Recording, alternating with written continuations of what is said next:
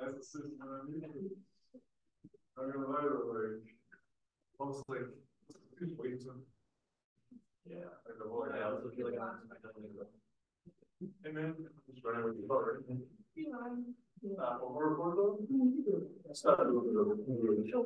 That's.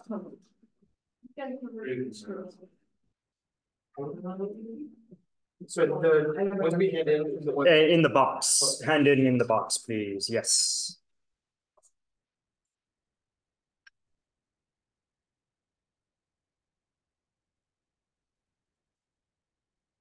Okay, I think I finally got all this crap set up. Good. So, uh, I hope you all had a good Easter weekend and, uh, are ready for wrapping up the term here. Um, so I think we have, including today's class, I think we have three classes left. Uh, so what my plan is, is that we will finish discussing our nonlinear fits today. And then in the next two classes, which is, I guess, Friday of this week and Wednesday of uh, next week, we'll talk about one more topic and it's it's a pretty easy and fun topic uh, and we'll take advantage of some of the stuff we learned about uh, our probability distributions to do that. Okay, so uh, let's wrap up our nonlinear fit discussion. Um, before we get into it, just some reminders. Um, so you're, you just submitted your lab number five notebooks. And so I'll get those to the TAs and we'll get them graded. Uh, and then we've got assignment six uh, due on Friday. And then your formal report due Wednesday of next week. And then that will be a wrap. Okay. So the nonlinear fits. So let's just remember what we imagined doing. We had some data that we measured and we're going to fit it to some kind of model, some kind of function that we created that is some, some complicated nonlinear function of these parameters that we want to find. Our strategy was going to be to first pick a range of values, of reasonable values for our parameters, and then we would construct all possible combinations of those parameters uh, in the box space. Yes. And then uh, we were just going to calculate chi-squared and all of those possible combinations, and then find whichever one gives the smallest value. And whatever that set of parameters was, was going to be our estimate of the best fit parameters. And then we started to think about chi-squared, and we noticed a few things. Um, we noticed that near the minimum, chi-squared had a shape that was quadratic. Sorry, I might sneeze here. So of course, if you go far enough away from the minimum, then uh, you can deviate from that quadratic behavior. But this red thing is supposed to show that at least close enough to the minimum, the shape is kind of quadratic. And we imagine, okay, let's zoom in to that region where it is quadratic. We said, okay, in that region, we could approximate chi-squared in this form. The way we did it, remember, was we ended up writing out like a Taylor series expansion. And we said, well, if we're at the minimum, the first derivative term vanishes. And so there's no a minus a star that's linear because that derivative vanishes near the minimum. So you get the zeroth order term, uh, which is just the value of chi-squared, the minimum value.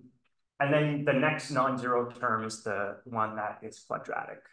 Uh, so we said, okay, look, there's that red shape. And we decided that if this quadratic very, very quickly, once we moved away from the minimum value, that would be telling us that we precisely know the value of A that minimizes chi-squared, and we would expect a small uncertainty.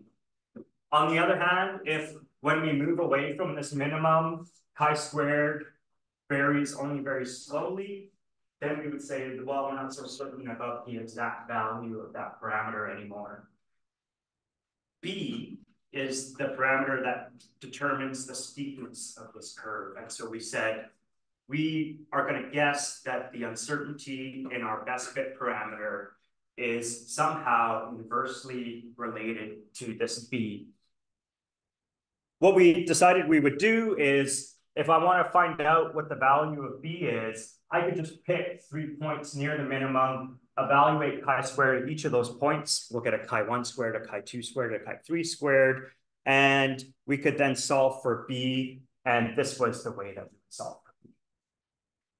We discovered uh, by subbing that quadratic form of chi-squared into our maximum likelihood probability that uh, this chi-squared is another Gaussian function, and we dis discovered that actually the uncertainty in our parameter was proportional to one over the square root. And so that's everything we did.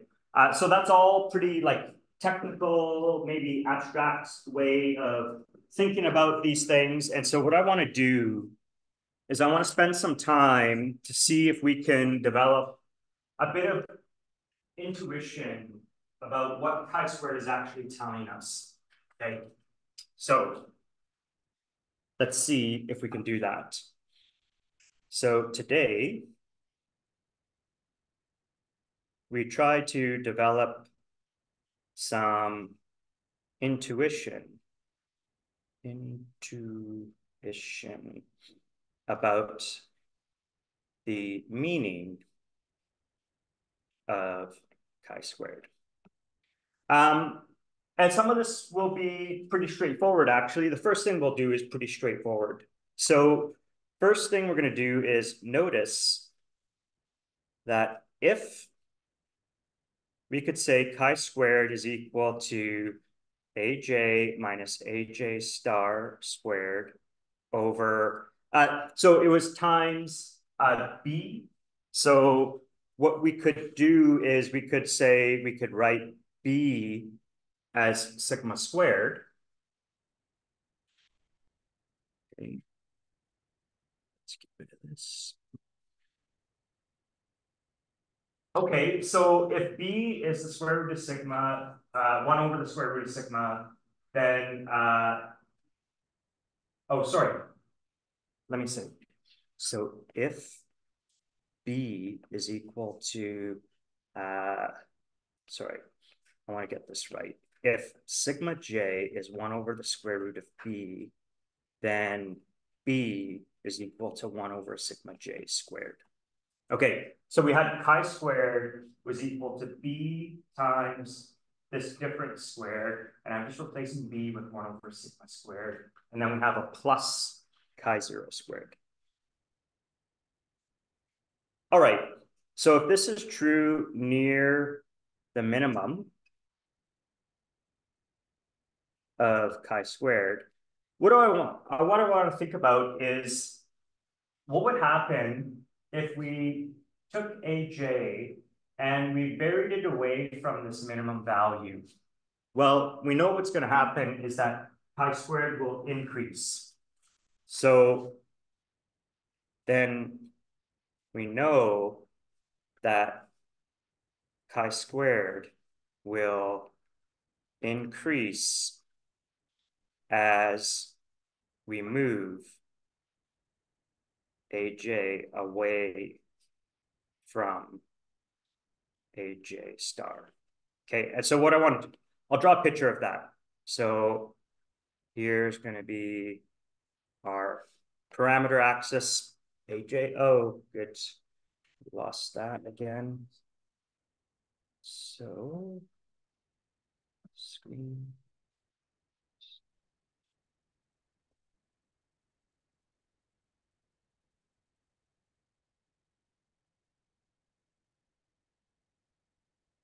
Okay, good. So here's our AJ axis and our chi-squared axis.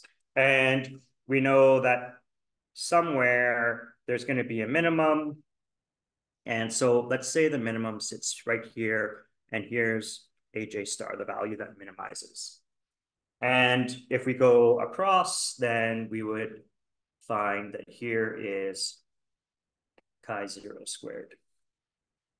So what I want to imagine is then we sit at this minimum and then we just move away from AJ star. So we move along this axis either to the left or to the right. In either case, then we increase chi squared above the minimum value. So if we take this point and we move it over here, then we end up with something uh, chi squared that's greater than chi zero squared. And so this is going to be a translation in that direction. And then, of course, we could go the other way and we would see the same thing happen. All right. So what I want to imagine then is we're going to do this process. We're going to move away from AJ star until chi squared is greater than chi zero squared by exactly one. Yeah. Sorry, do you mind reminding me what the significance of the AJ star is? That's just the value of the AJ, these are the parameters that we're trying to find, right? And so in general, we could have M of them. So we have an A1, A2 up to AM. And so this, these are just the set of parameters that find the minimum of chi-squared. Stars are? Yeah, they're the best fit parameters. Yeah, yeah. So we're gonna imagine that we sit exactly at the position of a minimum, at exactly at AJ star, and then we just move away from that. And I wanna see how does chi-squared increase. Yeah. Okay. So let's imagine moving along the AJ axis, starting, starting at AJ star and ending once chi squared has increased from chi zero squared to chi zero squared plus one. Okay. Well, so then what we're going to do is we're going to say uh, chi squared is equal to aj minus aj star uh, squared over sigma j squared plus uh, chi zero squared. Okay, so that's the parabolic, parabolic shape. And then what we're going to imagine is then, uh, so we take AJ to AJ prime such that chi squared is equal to chi zero squared plus one. So let's go to our picture here. And so what I'm going to do is I'm going to say this is now AJ prime, just some value of this parameter that's away from the minimum. And we're going to go to this place to where chi squared is going to be chi zero squared plus one. Okay. All right, so then we would have chi zero squared plus one is our value of chi squared is equal to uh, AJ is now AJ prime. We've gone to some specific value. We still have this. And then we have sigma j squared. And then we have plus chi zero squared. All right. Um, so we have chi zero squared now on both sides of our equation. And so we could cancel that.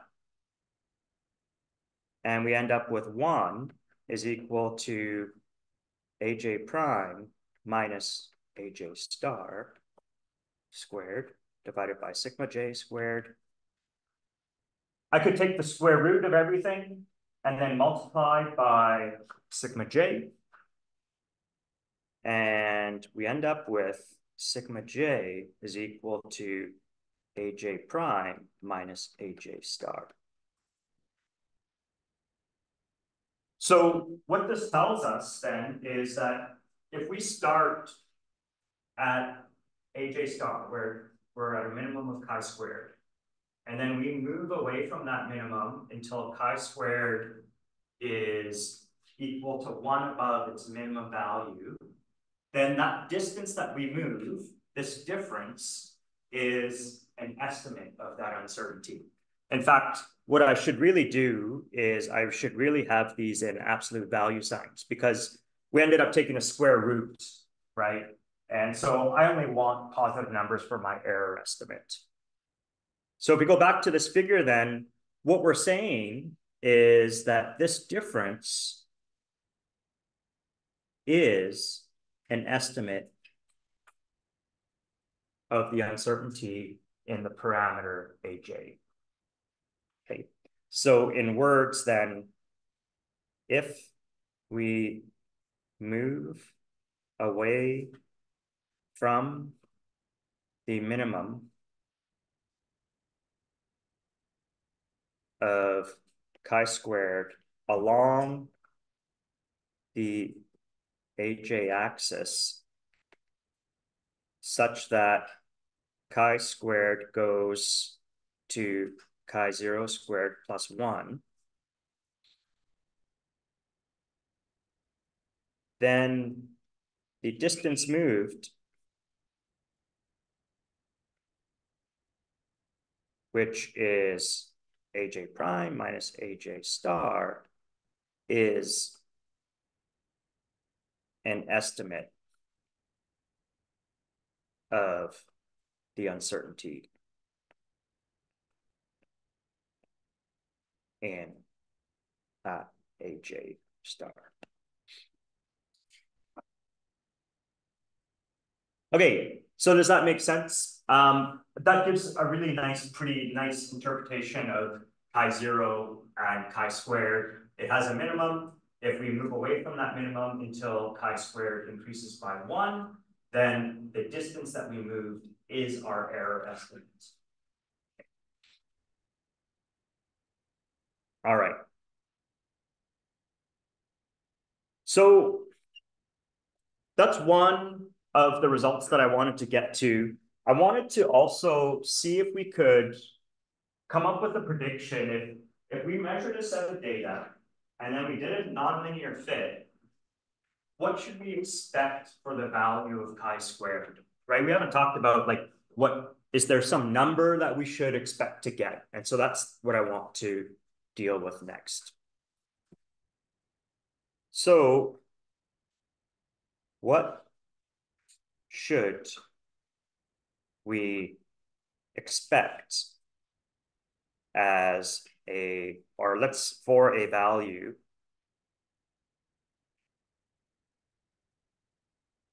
of chi squared after doing a, let's say a good fit. Okay, so let's remember the definition of chi squared. It was the sum of i equals 1 to n. So we've made n measurements of some data, and we're going to take the difference between the ith y value and the y value calculated from the ith x value. And then we're going to divide that by sigma i and then square it. Okay. And we have to assume that we've measured xi and yi plus or minus sigma i for i equals 1 to n. Okay, so let's let's do a plot of sort of what we might expect for our data. So here's our x-axis, here's our y-axis, and then maybe we have some, this is our best fit line, and then we fit that to our experimental data, and our experimental data looks something like this.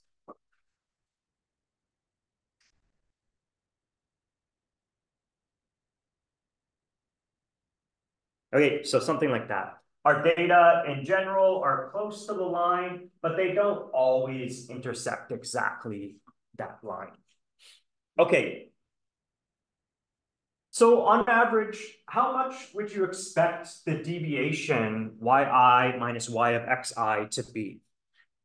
So let's say on average,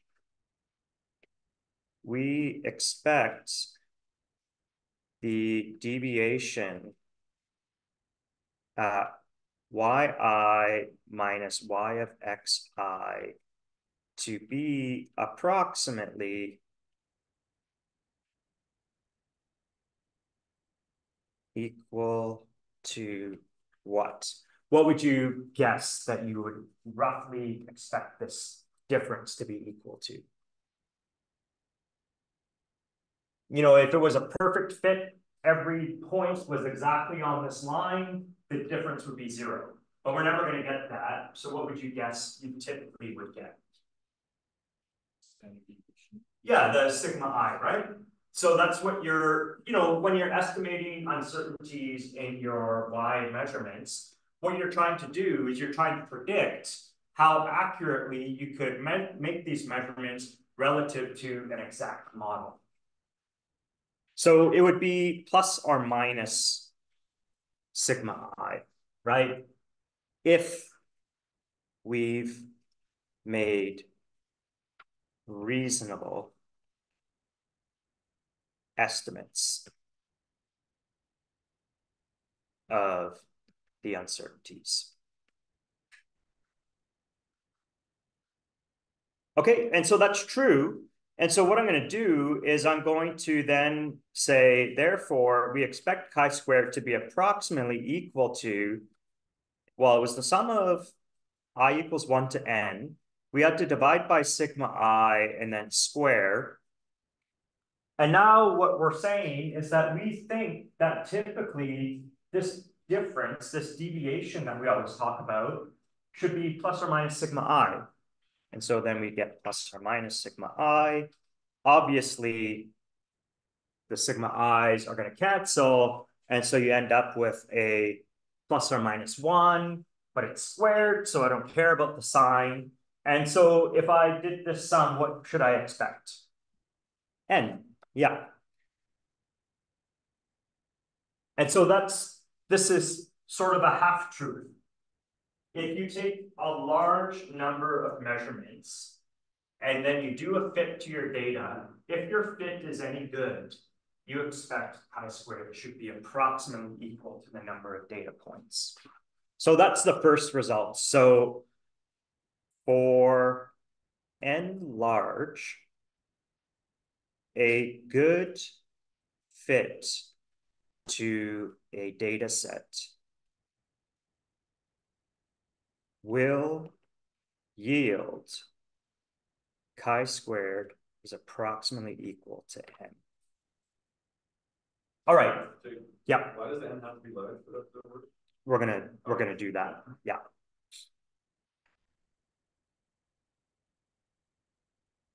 Okay. Um. Now let's let's think of some other possibilities what would happen if you've made, like if you badly overestimated your uncertainties, uh, you badly overestimated your sigma i values, right? So your, your error bars are really big. What's going to happen to the value of chi-squared?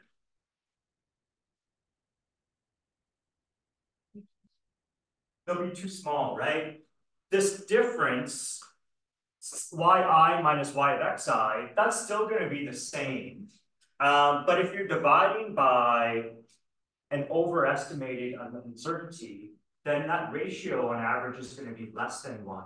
And so when you add them up, you're going to get a number that's less than n. Yeah. Is that ratio kind of like what they call the R value?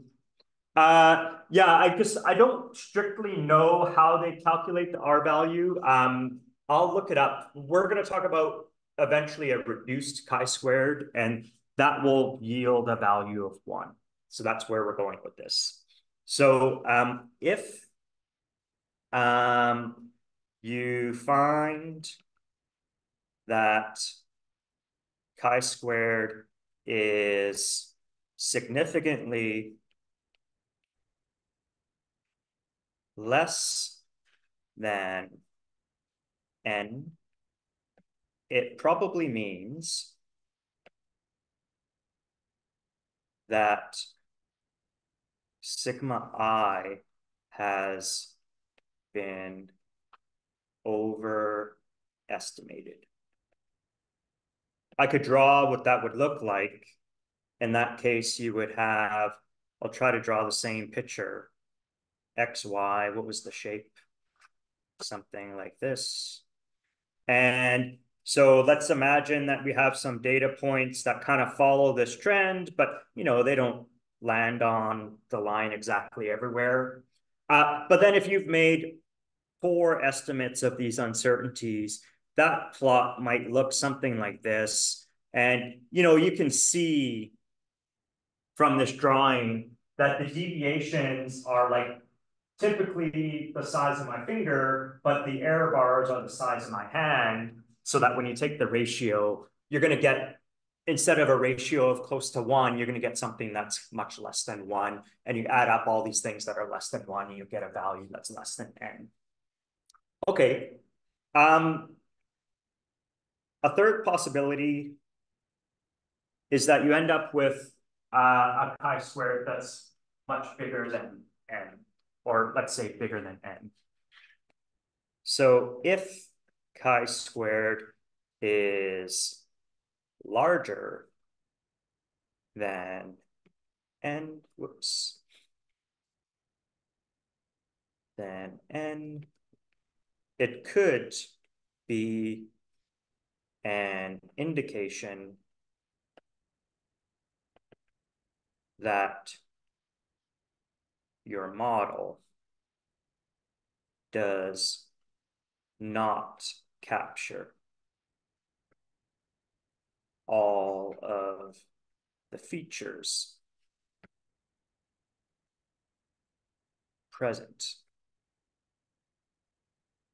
in the data. And I could draw what that would look like. Um, so let's try X, Y here. And so uh, this time, what I'm going to do is I'll draw like a model that maybe looks something like this, right? Just some kind of smooth function.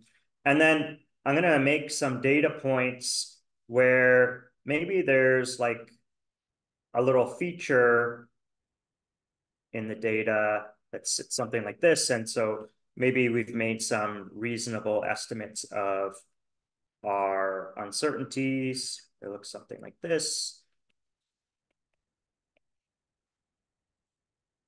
Okay, so what we could find here is that all of these points in blue are going to give deviations that are close to one. So the points encircled by blue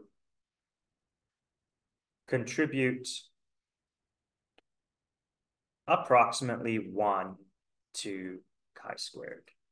But then we have these points in red where we have large deviations so that when you take the deviation divided by the uncertainty, you're going to get a contribution that's bigger than one. And so the points encircled by red contribute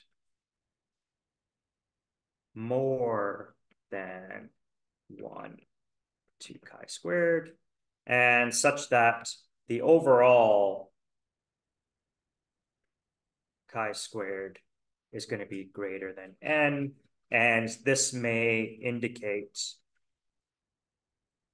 a poor fit. And all of this assumes that we have a reasonable estimate of uh, the sigma i values. Because what, what's another way of getting uh, chi-squared bigger than n? Let's say it is a good fit to the data, but you still get chi-squared bigger than n. What could happen then? Yeah, you've underestimated your uncertainty. So these deviations are, you know, typically what they are. But if you divide by like a really small uncertainty that's badly underestimated, then you'll get chi-squared bigger than n. So if you've made reasonable estimates of sigma i and chi-squared is bigger than n, it probably means that there's something in your data that's not captured by whatever the theoretical model that you're applying to it. Uh, and so that could mean that you've made some kind of discovery of new physics or something like that, or it just means you're using a bad model, okay? Uh, and so for this reason, we can think of chi-squared is a goodness of fit parameter when sigma i is estimated appropriately.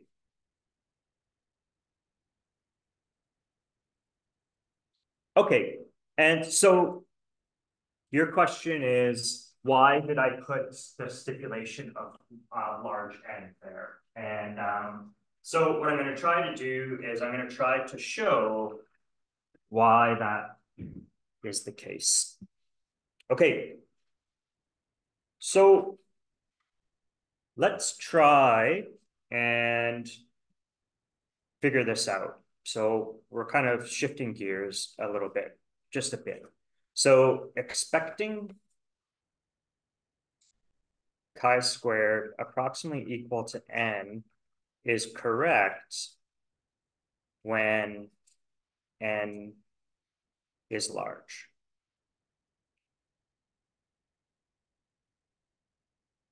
Well, sorry, when n is large.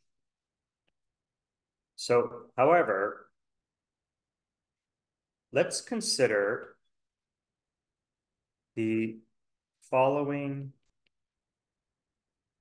extreme cases. So the first extreme case is uh, I want to imagine that we're going to try to measure the density of some fluid, right? It's a really easy thing. Uh, we take a beaker, we fill it with some fluid. The beaker allows us to measure the volume. Then we put it on a scale. Uh, we zero out the mass of the beaker and we get the mass of the liquid. And then of course, we could calculate the density as uh, mass divided by volume. Okay, so that's what we're gonna do. Um, so we're gonna measure the volume of an object, it could be a fluid or just a block of wood or whatever, and measure also its mass. So then we calculate, or we, let's say, determine the density rho from a fit to the data. Okay, so of course, I could just take my mass divided by the volume and get the density. But what I want to do is I want to think of this in terms of fitting so that we can relate it back to chi-squared. So our theoretical model is then that the mass is equal to rho times v. And so what we're going to say is this will be our y data, v will be our x data. So our, we set the volume, then we measure the mass, and then this will be our fit parameter. This is going to be the slope. So m versus v has a slope. Uh, let's say b is equal to rho and an intercept of zero. Okay, so this is a one parameter fit. And so we're trying to fit for the density rho. And um, with uh, n equals one data points. Okay, so it's an extreme case because we're have just one data point. The better way to do this measurement, if this was we're measuring the density of a fluid, would be to pour a bit of fluid into the beaker and measure the volume and the mass and add a bit more, measure the volume and the mass, add a bit more volume and mass. And maybe we get 10 or 12 data points, we plot them it should follow a straight line and we put a straight line through that data. That would be the better way, but let's think of doing just a single measurement. So what we end up with is a plot where we're gonna have volume and mass, and we make one single measurement, and here's our V1 measurement, and we end up with our M1 mass. Okay, and so we get our one data point right here, and maybe we make some estimates of the uncertainty and the mass that we measured, something like that. Okay. Now, what would, if I was trying to fit this, what would the line look like that I would put through this data? It would what? It's going to have zero intercept. So the line will pass through here. It has to pass through zero. Where, where, what else is the line going to pass through? That point, exactly, right? And so if I pass this through exactly this point, this is my best fit line. And really the main point here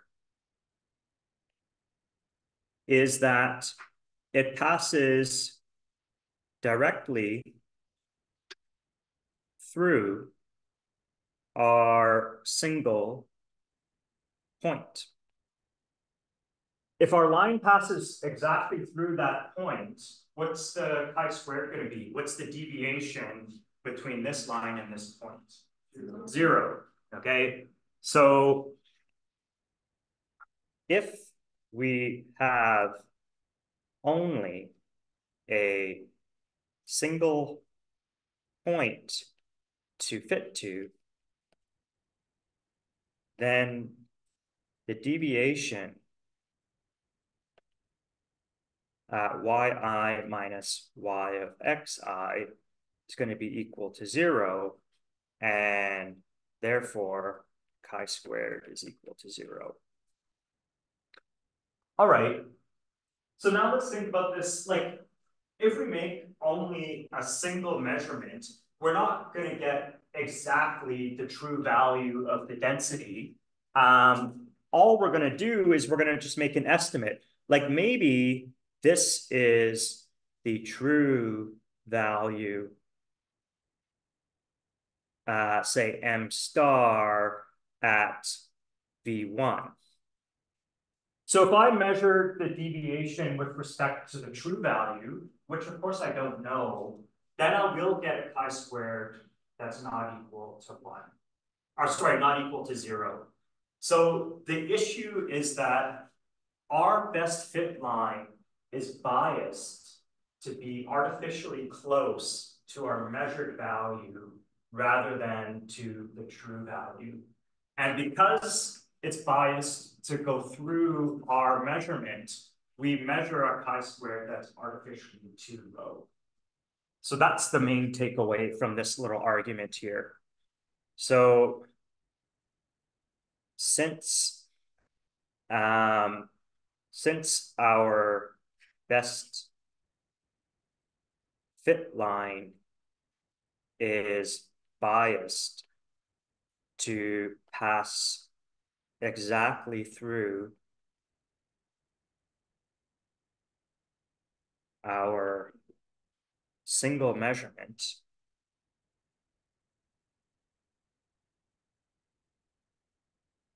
the calculated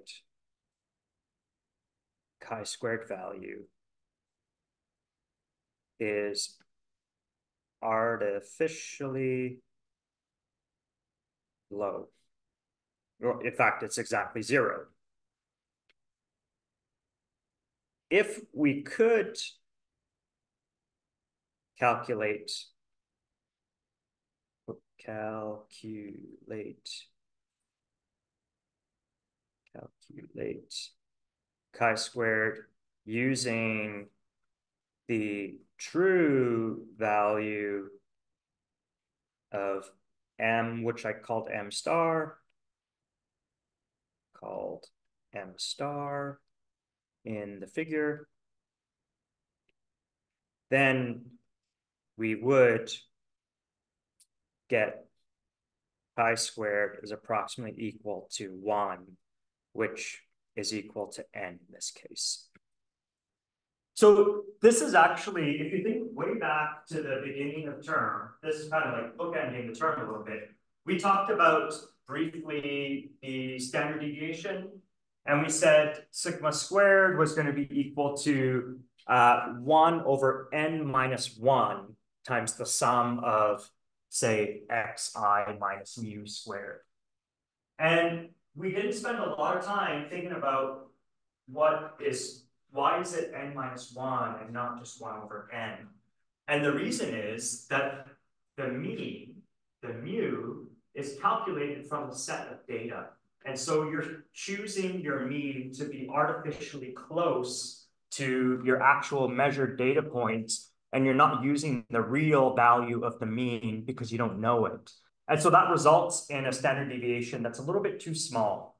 So to correct for that, you divide by not 1 over n, but a smaller number, 1 over n minus 1, which pushes the standard deviation out. And so it's the same thing here. We don't know the true value of m star, and so we underestimate the chi-squared when we do the calculation. Okay, um, the correction is to say that the value you expect for chi-squared is not n, but it's n minus the number of parameters that you're fitting to. In this case, if we're just finding the slope one parameter, which is the density, then you would expect to get n minus one. And that's exactly what we got for our one data point. We got zero for the chi-squared. So the resolution, which I'm not going to justify formally. So the resolution is that the expected value of chi-squared is not n, but is n minus m, where m is the number of parameters in your fit. So for uh, an n equals 1, for n equals 1 and a 1 parameter fit, in this case, our one parameter is the slope or density.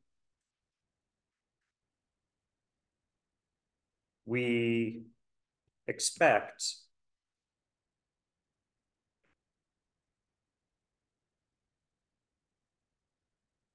chi squared to be equal to n minus m, which equals 1 minus 1, which is equal to 0, and that's correct. So going back to the n large case, like if we take a thousand data points, like often it's it's these days when you conduct an experiment, it's usually automated. And so you have some equipment logging data for you. And so n equals thousand is no problem. You can do that easily. And then if you're going to fit that to, I don't know, a two parameter fit or something like that, then, you know, a thousand minus two is still approximately a thousand. So that's why I said for n equals large, chi square approximately equal to n is about right. Strictly speaking, it's n minus m, the number of data points minus the number of parameters. Yeah. What if we have more parameters than you did? then you can't solve that. Yeah, yeah. So if you had, it's like saying, what if I had six unknowns and four independent equations, I can't solve for those unknowns. It's the same problem, yeah, yeah.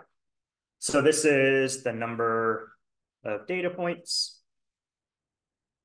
And this is the number of fit parameters. Okay, um, so what I want to do in five minutes is, okay, I was going to do the, another case, but let's just summarize this findings for chi-squared.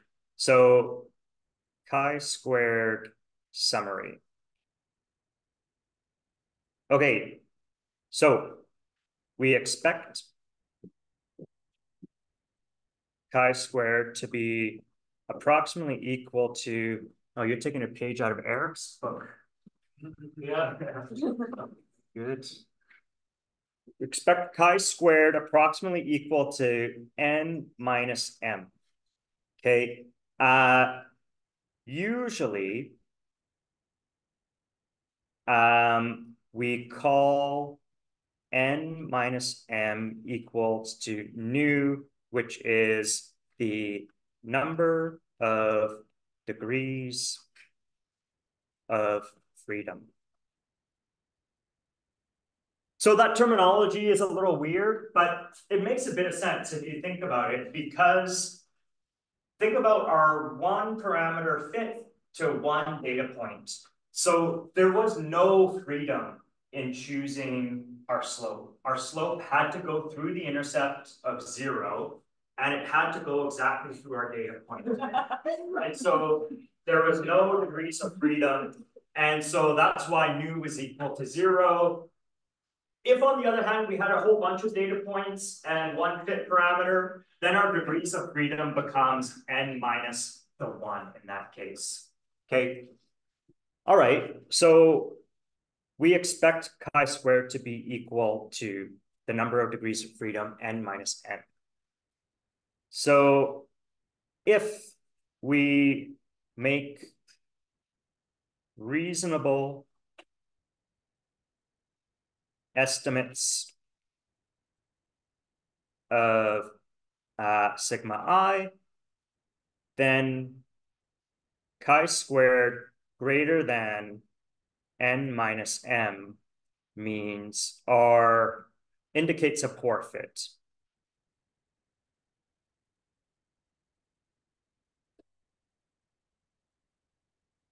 Now, if your number of degrees of freedom is like 998, right? Say we did a thousand measurements and we have two fit parameters. So we expect chi-squared to be 998.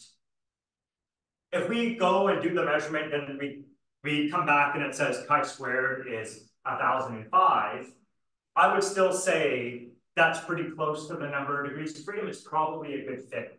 But if you get chi-squared is like 2000 or 3000, like two or three times bigger than you expect, that's when you begin to worry that you've gotten a poor fit to your data. Uh, and then the last thing that we said is if chi-squared comes out to be less than n minus m, then we've probably overestimated the values of um, sigma i.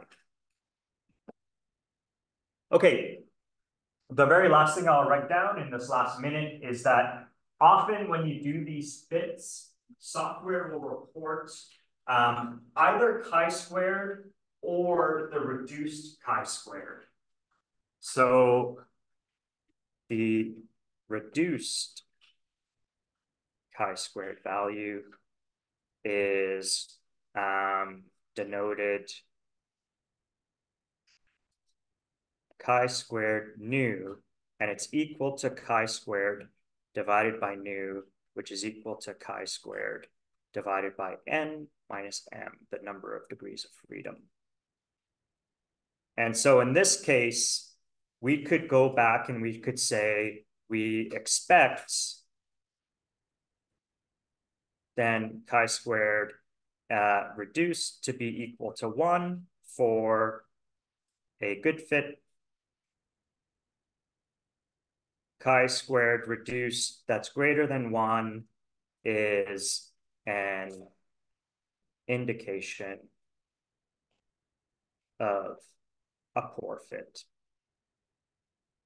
So some software will report chi-squared. There, you want to compare that to n minus m, add the number of degrees of freedom. If your software reports the reduced chi-squared, that's what you want to see get close to one. Okay, and so that's why it's called the goodness of fit parameter. Yes. Is this what's happening in assignment six, where the error values actually not giving us are smaller? than- Um. Oh, yeah, I guess. I don't know, like, the reason that I said anyone who could tell, explain it to me, you could get bonus marks, because I don't know the answer. Um, strictly speaking, the chi-squared is, the way we're estimating the uncertainties is not through a calculation of the chi-squared, right? We had this Yeah. covariance matrix where we took the diagonal elements. Maybe they're related in some way, um, I'm not sure. If I had to guess, is I would probably guess that maybe what's happening is that the data that I made up is not completely uncorrelated. So remember when we were doing the uh, error propagation, we ended up with these covariance terms. My guess, and I don't know if it's true or not, is that Python is using those off diagonal terms, which are the covariances, and those are somehow incorporated into how the error is estimated, but I don't know how that works. Yeah. Okay, good. So uh that's it for today. We, for anyone who's doing a makeup lab, I will be there in a few